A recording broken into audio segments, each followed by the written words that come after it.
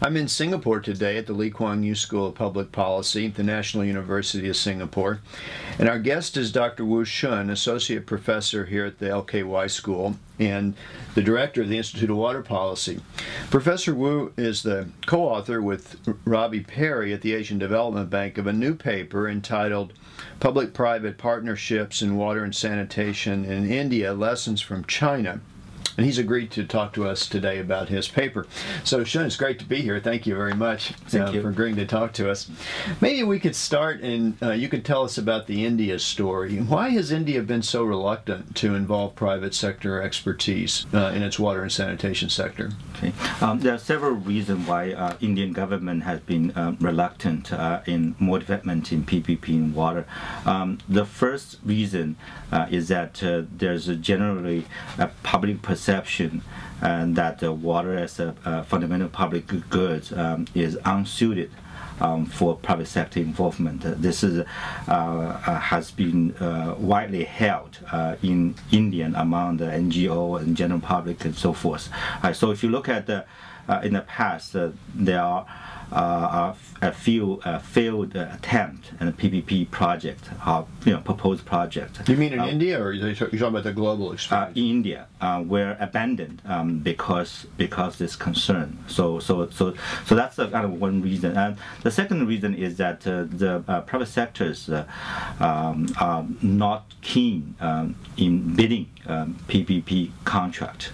Um, there are perhaps you know many reasons for that too. Because one, one of the reasons uh, is that uh, uh, the price uh, is generally pretty low across different uh, cities in India. And the second reason is because of the weaknesses in uh, a governance mechanism, such as regulatory capacity, as well as the dispute resolution mechanisms are in general uh, quite weak. Uh, so this is actually uh, create a lot of risk for private sectors to be involved in water sectors. Right? And the, third reason I think also quite important um, is that if you look at current experiences, um, the existing PPP in India water sector um, have oftentimes linked with uh, substantial um, public funding. Right? So uh, this is kind of ironic because the government want to bring in private sector in to um, reduce the financing gap, um, but to the uh, public sector operator, uh, what they are most interested is the availability of public financing for such projects. So how does how does that work? You mean they, they keep the prices low in the PPPs, and the and the government provides a, money directly to the the private operator to fill the gap? Mm-hmm, right. That's yeah. That's the uh, the uh, underlying thinking uh, of of uh, their approach. But uh, largely, that has uh, not been able to get enough private sector players interested. What about um, public sector? I mean, private sector players from other countries. I mean, like Manila Water or somebody. Would they be interested? Do you think in bidding on well, I think they are would be as reluctant as uh, uh, domestic uh, private sectors in India um, because I think uh, uh, if you know foreign company come into a new country, they potentially um, they will uh, be confronted with other set of uncertainties, and, you know, such as unfamiliarity with the political systems and the political structure mm-hmm. and so forth. So, so, so I think that uh, the the foreign players, the foreign investor uh, will uh, will be very cautious as well. Mm-hmm. Can we switch to China? Okay. Um, and uh, uh, you tell a story in your in your paper of China being very persistent mm-hmm. in overcoming failure. Uh, in involving private sector operators, how do you explain that China was so per- persistent? Why didn't they sort of back off from their initial mm-hmm. failures? Okay, um, we we have to uh, first remember that uh, um, China uh, is uh, a, a countries uh, where you know one parties uh, have ruled countries for a long time. It's a, essentially a one party system. Um, so that in the Chinese government, they can afford um, to learn from mistake and stay with their children policy. Um, this may not happen in other uh, political environment, which is highly contested because uh, uh, the incumbent may only have one shot, and uh, if mistakes is made, they have to move on. Mm-hmm. Um, but this is not necessarily to be the cases uh, uh, in uh, in China. Right? So um, the second reason is that uh, uh, within China, uh, there's no fundamental resistances to private sector involvement in water. Right? So policymakers believe that the initial failures in engaging private sectors uh, are mainly due to technical reasons, which can be fixed um, with uh, technical solutions. Right? And the third reason um, is that uh, uh, the ability to attract um, foreign direct investment or private sector investment is often a key uh, performance indicator for local government official uh, looking for promotion and career advancement. Interesting, yeah. Um, let me ask you one of the things that I uh, remember uh, reading in the paper was how initially the private uh, firms from abroad came into China, but they were gradually replaced by the local Chinese uh, firms. Um, I guess two questions here. What, what did the local Chinese firms remember i mean what did they learn from from this and who were they i mean what were they doing before they moved into the municipal water sector well I'm afraid that, that there there aren't uh, uh, too much you know le- lessons they learn from uh, the uh, foreign uh, uh, sort of partners, and the reason is that um, water sector, unlike many other industries.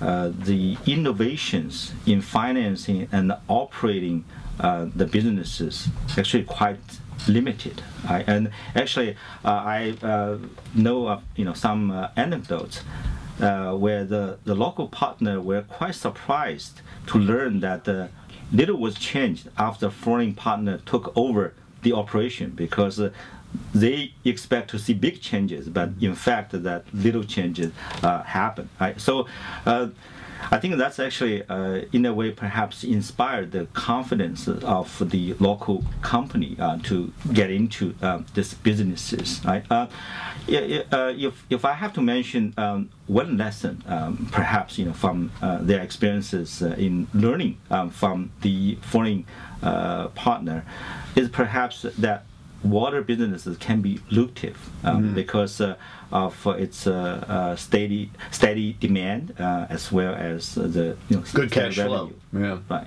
So you think that the local uh, Chinese firms have been making good money in in this? They've been a profitable.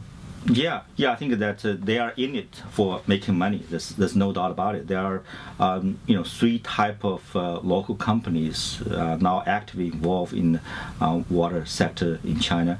Uh, one type uh, is the investment company affiliated with the municipal government. Um, because of economic growth, a lot of municipal government have large influx of taxes and the public money, and they actually are actively looking for areas to invest. So, so, um, so that is the first type, um, uh, uh, you know, company with, with a lot of resources, a lot of investment. The second type uh, are the privatized water utility that used to work with foreign partners. Right? Um, for for there's a group of you know uh, companies uh, that they're in Shenzhen, in Beijing. So after uh, the experience of, of working with foreign partners, uh, they actually uh, now become more aggressive in expanding their operations in other uh, municipalities.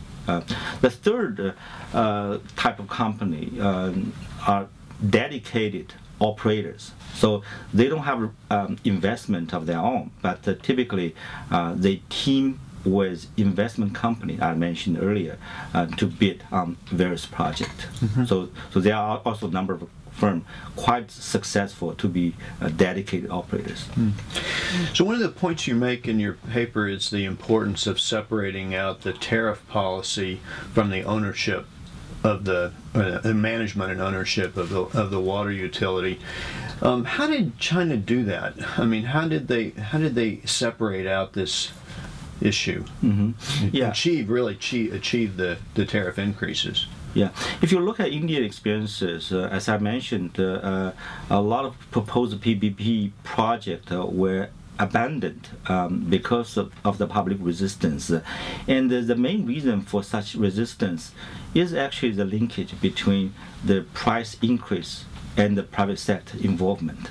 There's generally uh, public perception uh, that there's a causal relationship between uh, private sector involvement and the price increase. That's actually uh, its main obstacles uh, for India and also in many other developing countries in involving uh, private sector uh, in, in water and sanitation service. Right? So if you look at uh, uh, the China's experiences, um, China has been able to carry out tariff reform without the involvement of uh, private sectors. Uh, the major reform on tariffs actually were uh, implemented um, before the large influx of the uh, uh, the investment uh, from the private sector. So the so the private investors haven't been perceived as the ones responsible for the tariff increases. Right. Yeah. So uh, politically, uh, it is actually uh, make the tariff reform uh, more acceptable uh, if it's not linked with a private sector involvement, right? Because the tariff reform should have its own rationale and logic, right? Tariff reform can be conducted due to the requirement for cost recovery or the desire uh, to improve uh, uh, economic efficiencies. The, that there's no need to connect the tariff reform directly with the ownership of the utility. Is, it, is there a lesson there for India? What kind of advice would you have for Indian water leaders on how to do this? Yeah, I think in many developed countries, including India, um, uh, the uh, I think one of the goal uh, of engaging um, private sector is that uh, uh, after the private sector is brought in, then the government can push the tariff reform. Um, so basically, that government expect uh, that something that they are willing, not unwilling, um, to push, uh, such as uh, uh, tariff increases, uh, they would expect the private sector to push this agenda for them. Uh, I, I think largely this is uh, wishful thinking. government should actually carry out tariff reform um, before they are looking for investors from private sectors. Mm -hmm. Another point you make in the paper is that um, China uh, was slow to develop its regulatory capacity. Um, could you tell us something about this? I mean, um, why was why was it slow, mm-hmm. and you know, what lessons have um, or what advice would you have for China now to build up its regulatory capacity? Mm-hmm. So uh, China used to be a um, planning economy, right? Uh, so that uh, uh the policymaker in China are quite comfortable uh, with managing uh, state-owned enterprises. Right? Uh, they don't have experiences actually in regulating industries with the presence of uh, natural monopoly, uh, such as waters. So, so this is uh, in large, largely re reflect the inexperiences in um, regulation. Right. On the other hand, they also have a, a unrealistic expectation of what market and the competition can bring. Right? So, so, so, so there's two factors: uh, lack of experience in regulation and uh, uh, unrealistic expectation uh, about market. Uh, uh, actually leads to a, a, systematic neglectance of regulations in China.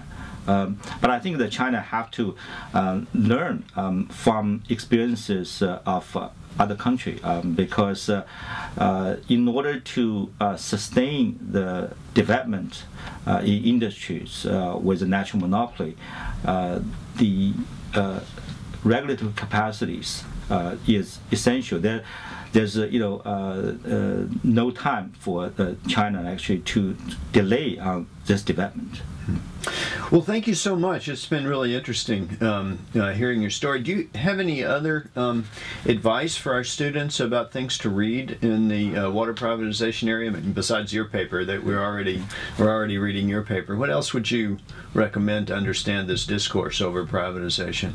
Yeah, there are many uh, materials on this topic um, because uh, of a high level of interest. Uh, and two uh, comes to mind uh, right now uh, is Karen Bakker's books um, privatizing water. Um, that's actually uh, provide a, a very comprehensive uh, discussion about the different viewpoint on the private sector involvement in water.